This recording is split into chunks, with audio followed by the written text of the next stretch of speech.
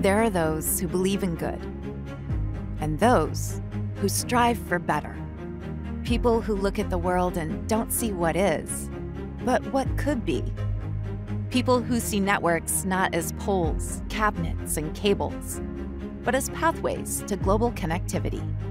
Who see building broadband networks and distributed energy grids not as tasks, but as a mission to achieve digital equity and a net zero economy for everyone.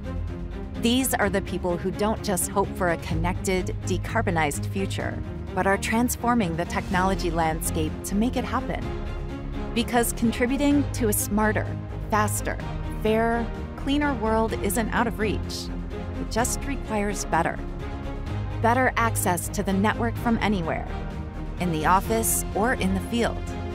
Better digital workflows, so operators can model and manage any fiber or electric network, no matter the complexity.